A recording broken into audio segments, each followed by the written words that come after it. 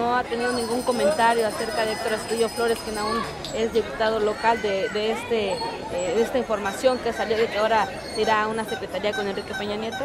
No, fíjate que no, tenemos buena amistad, buen acercamiento, pero no hemos sacado el tema, a lo mejor porque pues, no tiene por qué compartirlo con nosotros, pero bueno, pues será una decisión de él, ¿no? A donde, a donde él vaya, ¿no? Veo difícil, sí, este, porque bueno, son pocos espacios y son muchos los que quieren, ¿no?